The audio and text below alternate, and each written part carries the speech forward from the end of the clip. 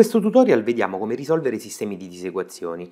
Partiamo da questo esempio. Allora andiamo a porre il numeratore maggiore o uguale a 0 e il denominatore maggiore di 0. Siccome che il numeratore ha una potenza dispari, possiamo eseguire la radice cubica di ambo i membri e quindi possiamo semplificare questa potenza 3 e quindi ci rimane x maggiore o uguale a 0. Per quanto riguarda il denominatore andiamo a scrivere x maggiore di 9. A questo punto andiamo a fare la rappresentazione grafica dello studio del segno. Vediamo la domanda e ci si chiede quando è che questa frazione è minore o uguale a 0 e il minore o uguale a 0 lo vedo qui.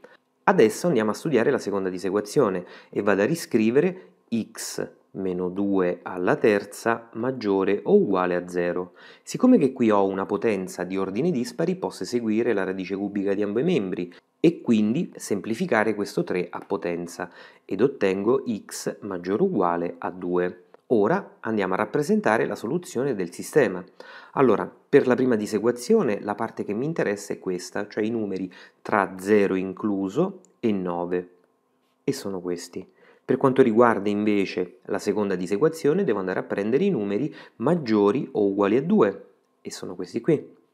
Allora la parte comune che viene verificata sia dalla prima che dalla seconda disequazione è questa, e allora vado a scrivere x compreso tra 2 e 9 con 2 incluso.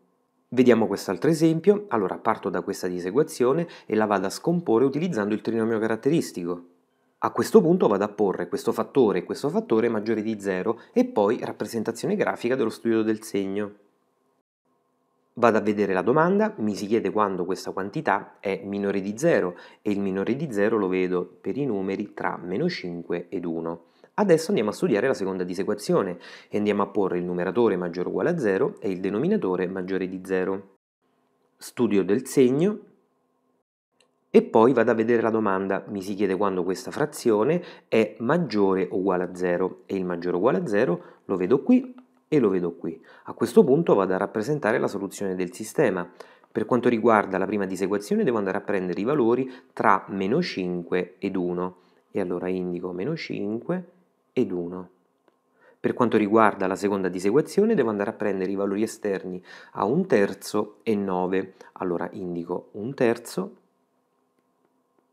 indico 9 e prendo la parte esterna con un terzo incluso. La parte comune che viene verificata sia dalla prima che dalla seconda disequazione è questa qui e allora vado a scrivere x compreso tra meno 5 e un terzo con un terzo incluso. Vediamo quest'altro caso, allora la prima cosa che devo fare è portare 1 a sinistra e fare il minimo comune multiplo. Raccolgo i termini simili ed ottengo meno 4x più 7 fratto x maggiore di 0. Ora vado a porre il numeratore e il denominatore maggiore di 0 e faccio lo studio del segno. Vado a vedere la domanda, mi si chiede quando questa disequazione è maggiore di 0 e il maggiore di 0 lo vedo per i valori tra 0 e 7 quarti. Adesso andiamo a risolvere la seconda disequazione. Porto questa quantità a sinistra e faccio il minimo comune multiplo. Vado a porre numeratore maggiore o uguale a 0 e denominatore maggiore di 0 e faccio lo studio del segno.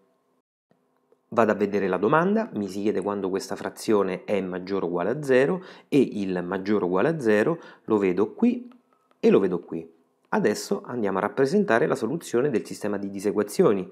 Per quanto riguarda la prima disequazione devo andare a prendere i valori tra 0 e 7 quarti, quindi indico 0 e 7 quarti.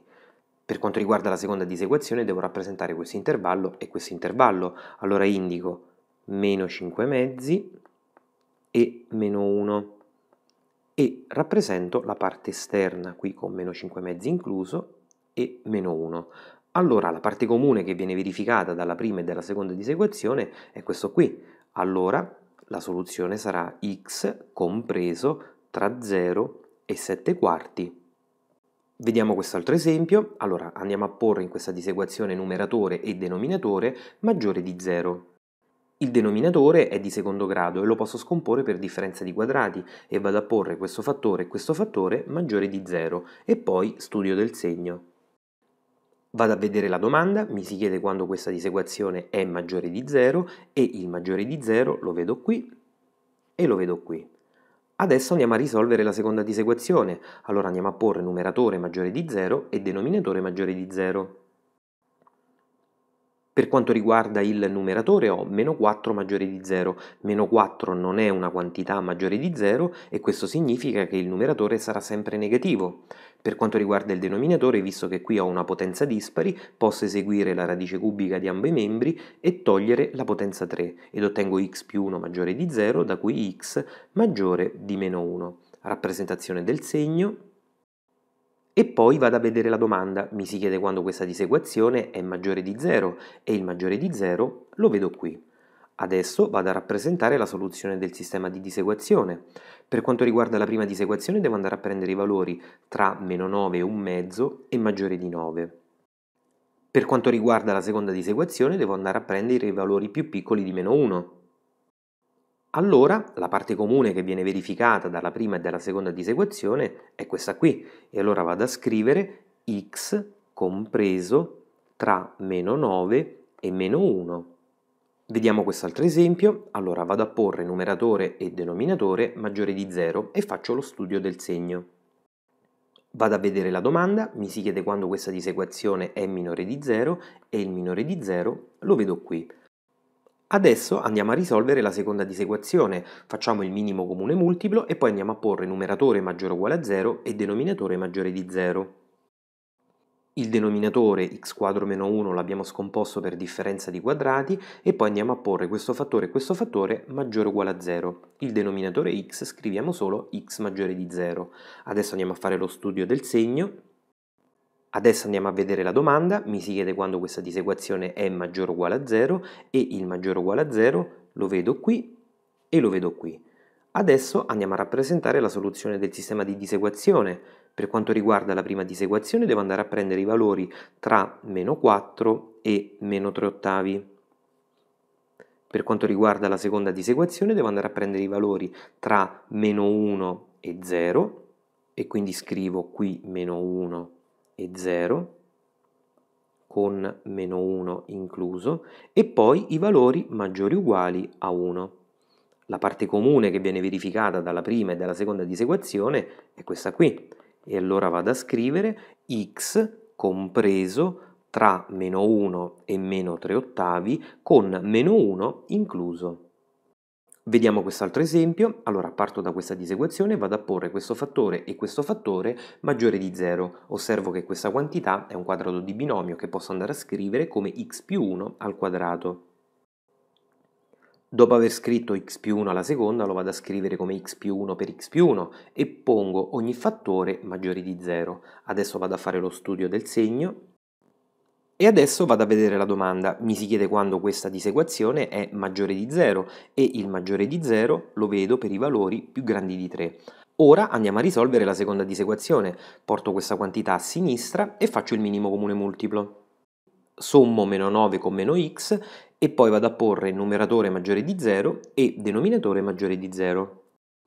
Rappresentazione grafica dello studio del segno, e poi vedo la domanda, mi si chiede quando questa quantità è minore di 0 e il minore di 0 lo vedo qui e lo vedo qui.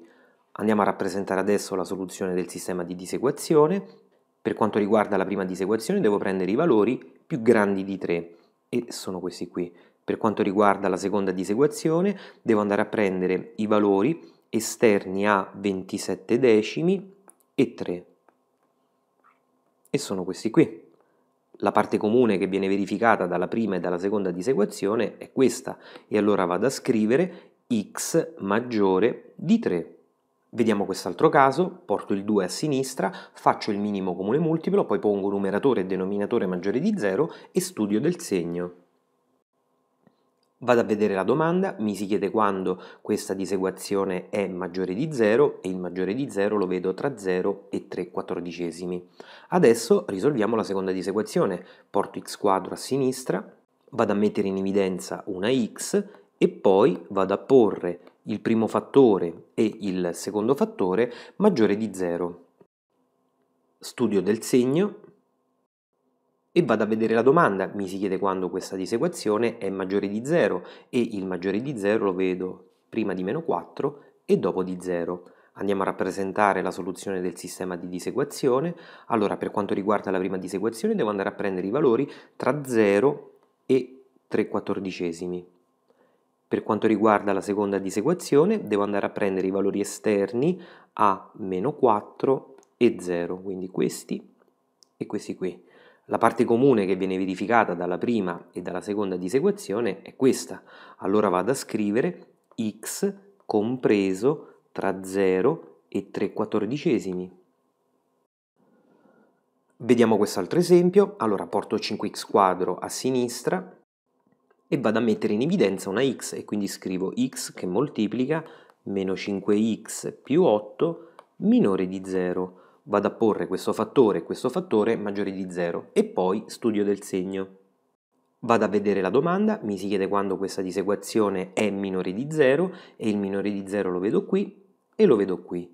Andiamo a risolvere la seconda disequazione, allora questo x più 2 al quadrato lo vado a scrivere come x più 2 per x più 2 maggiore o uguale a 0 e vado a porre questo fattore e questo fattore maggiore o uguale a 0 e poi studio del segno. Vado a vedere la domanda, mi si chiede quando questa disequazione è maggiore o uguale a 0, il maggiore di 0 lo vedo qui e lo vedo qui e l'uguale a 0 lo vedo quando x vale meno 2. Andiamo a rappresentare la soluzione del sistema di disequazione. Allora, per quanto riguarda la prima soluzione, devo andare a prendere questi valori e questi valori e quindi indico i valori prima di 0 e i valori dopo di 8 quinti. Per quanto riguarda la seconda disequazione invece vado a prendere tutto e quindi tiro una linea continua e la parte comune che viene verificata dalla prima e dalla seconda disequazione è questa qui.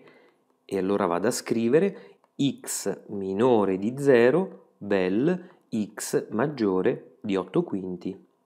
Vediamo quest'altro esempio, allora vado a porre numeratore e denominatore maggiore di 0. Per quanto riguarda il denominatore ho messo in evidenza un x quadro e poi pensando scritto x quadro come x per x vado a porre x maggiore di 0, x maggiore di 0 ed x più 1 maggiore di 0 ed ottengo queste tre soluzioni. Rappresentazione grafica dello studio del segno, e poi vado a vedere la domanda, mi si chiede quando questa disequazione è maggiore di 0 e il maggiore di 0 lo vedo qui e lo vedo qui. Andiamo a risolvere adesso la seconda disequazione, porto questa quantità a sinistra e faccio il minimo comune multiplo. Vado a porre numeratore e denominatore maggiori di 0 e studio del segno. Vado a vedere la domanda, mi si chiede quando questa disequazione è maggiore di 0 e il maggiore di 0 lo vedo qui e lo vedo qui. Andiamo adesso a rappresentare la soluzione del sistema di disequazione. Allora, per quanto riguarda la prima soluzione, devo rappresentare questo intervallo e questo intervallo. Per quanto riguarda la seconda soluzione, devo rappresentare i valori prima di 0 e dopo di 3 mezzi. E la parte comune che viene verificata dalla prima e dalla seconda disequazione è questa qui. E allora vado a scrivere x minore di meno 1 bel x maggiore di 3. Vediamo quest'ultimo esempio, allora è composto da tre disequazioni, partiamo da questa e vado a porre, dopo aver fatto il minimo comune multiplo, numeratore e denominatore maggiore di 0. Considerato che il numeratore lo posso scrivere come quadrato di binomio, ossia x più 1 al quadrato, una volta che vado a porre il numeratore maggiore di 0, x più 1 al quadrato lo scrivo come x più 1 per x più 1 ed ottengo x maggiore di meno 1 ed x maggiore di meno 1. Il denominatore che è x più 2, una volta risolto, mi dà x maggiore di meno 2. Rappresentazione grafica dello studio del segno, e poi vado a vedere la domanda, mi si chiede quando questa disequazione è maggiore di 0 e il maggiore di 0 lo vedo per i valori tra meno 2 e meno 1 e per i valori maggiori di meno 1. Andiamo adesso a risolvere la seconda disequazione, mettiamo in evidenza una x e poi andiamo a porre primo fattore e secondo fattore maggiore o uguale a 0. Rappresentazione grafica dello studio del segno, e poi vado a vedere la domanda, mi si chiede quando questa disequazione è minore o uguale a 0 e il minore o uguale a 0 lo vedo per i valori inclusi tra 0 e 1. Andiamo a risolvere l'ultima disequazione, posso moltiplicare ambo i membri per meno 1 così tolgo questo segno meno e da minore passa a maggiore e poi vado a porre numeratore e denominatore maggiore di 0. Una volta che moltiplico ambo i membri per meno 1 ottengo x più 1 fratto x maggiore di 0. Poniamo numeratore e denominatore maggiore di 0 e poi studio del segno. Andiamo a vedere la domanda, mi si chiede quando questa disequazione è maggiore di 0 e il maggiore di 0 lo vedo qui e lo vedo qui.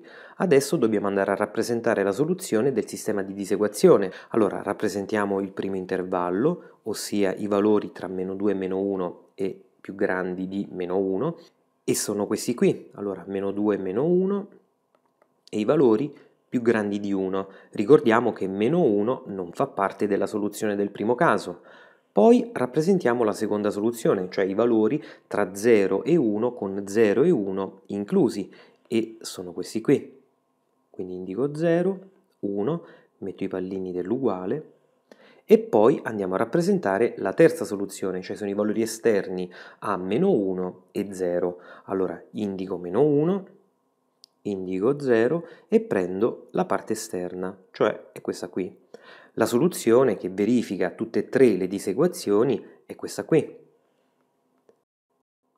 Allora sono i valori che si trovano tra 0 e 1 con 1 incluso perché 1 fa parte della soluzione del primo caso, del secondo caso e del terzo caso, mentre 0 non lo possiamo includere perché appartiene alla soluzione del primo caso, appartiene alla soluzione del secondo caso, mentre nel terzo caso qui non c'è il pallino e quindi non lo possiamo includere nella soluzione complessiva.